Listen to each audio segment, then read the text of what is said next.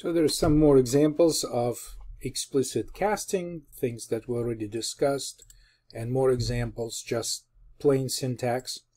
There's also this math class that we already kind of used um, in our uh, prior examples. We used math absolute between the difference between two double numbers. We try to uh, use the absolute value of it. So these are more methods inside the math class. Uh, so it's it's very simple if you want to use it. Uh, it's just uh, readily av available to you.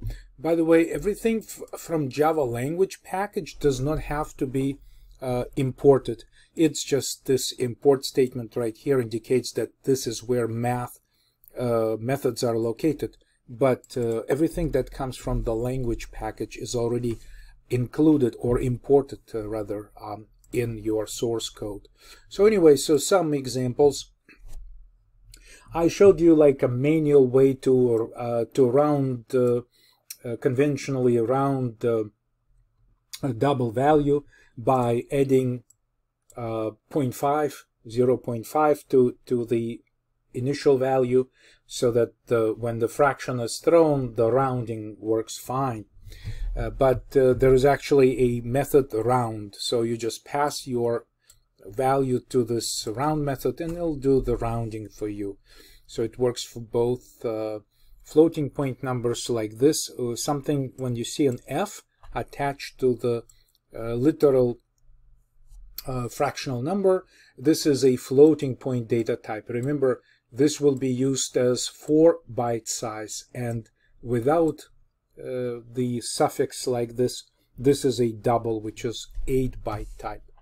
So anyway, those things work just just fine. And you see that the rounding here is that uh, 4.49 uh, becomes a 1 if you try to round that.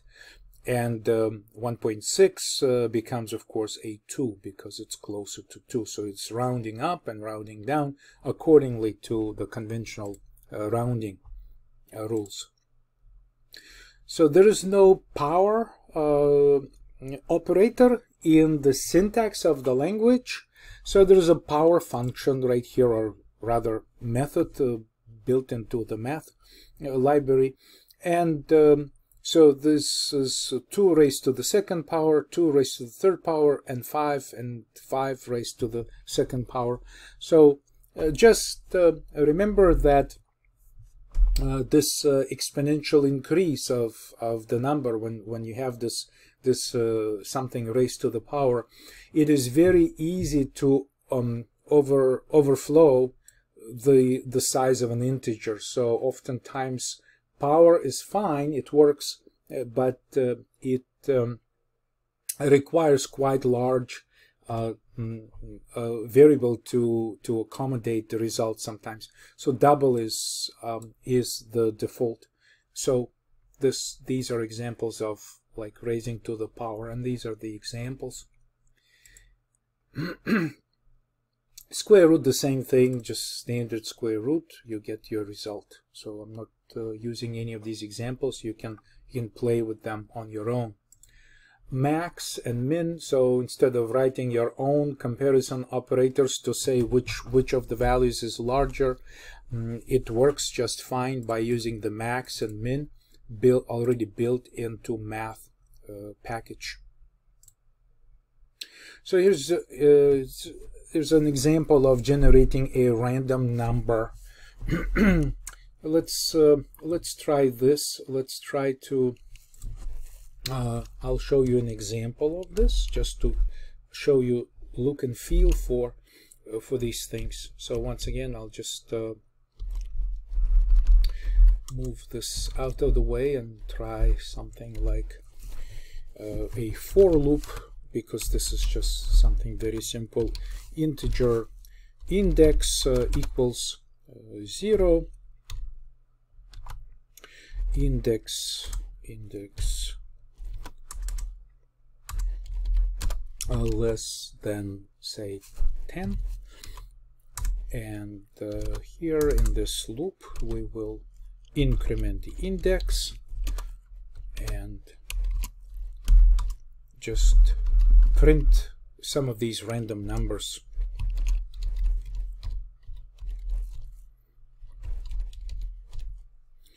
I'll just use new line and print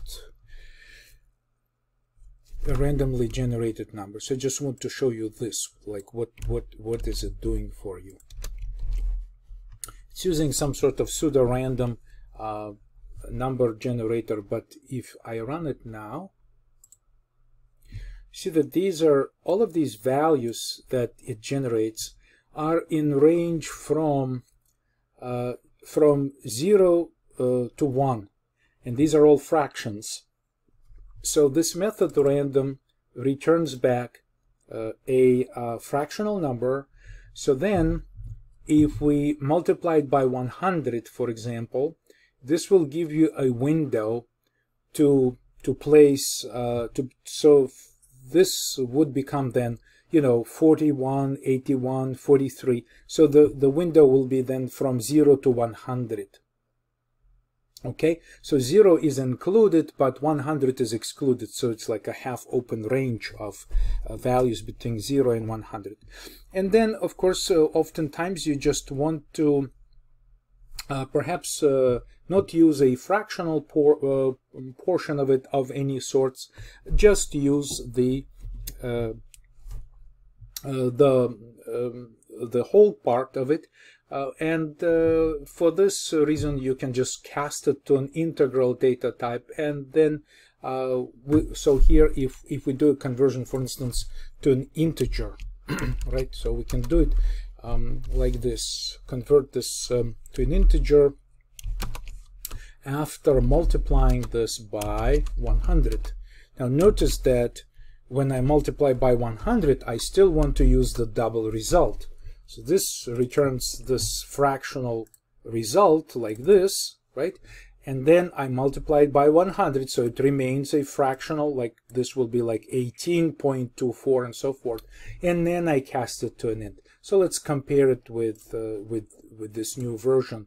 So you see, so these are some random numbers, so we can run a few times and you see that the numbers change every time we run it so it's a pseudo random um, sequence like this okay so this is fine uh, and like this is an example of uh, converting it to uh, uh to an integer. And of course this is the for loop.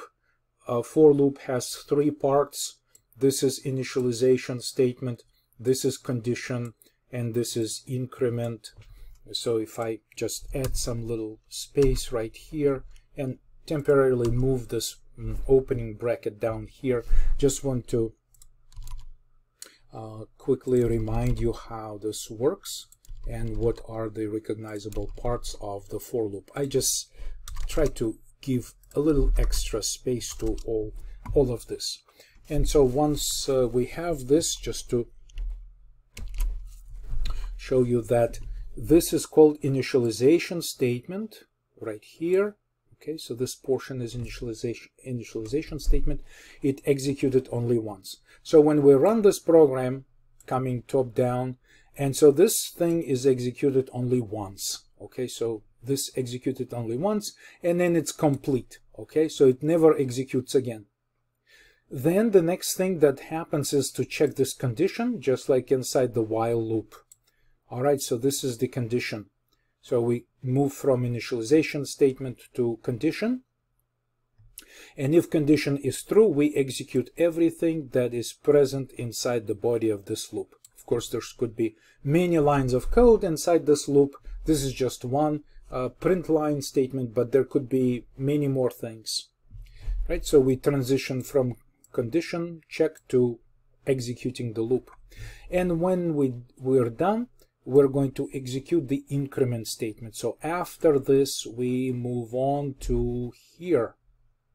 And so this will always execute. So here I increment my counter or index. And then from here, we will proceed to uh, checking condition again. If the condition is true, we repeat, right? So we just repeat these iterations and we repeat all these uh, steps uh, the same exact way. So I just keep doubling this. And again, we come back to checking the condition. And so this way we just keep looping. But notice how this is a, a mandatory stop in this loop, right? So this increment will always happen at the end of the loop. So you execute this, uh, uh, whatever's the, inside the body of the loop, and then the increment that uh, will happen. And condition is checked before each iteration, before each iteration. To um, mention here also that if um, this condition is false to begin with, like for instance, I initialized it by 100, like this. So 100 is not less than 10. This will never execute. The loop will never enter any any any of its body statements right here, and you just drop out here, and then you continue here, and eventually. So basically, you just you never do this.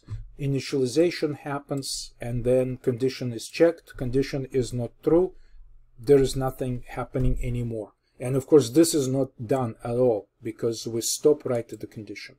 But if we loop, then this becomes a permanent stop. And this is how we loop between, once again. So these are essentially in a dynamic loop, when the loop is, is doing something, you get the condition, then you get this, right? And then you get this. And this is how you transition from here to here and from here to here. So this is your loop one, two, three, one, two, three, so something like that.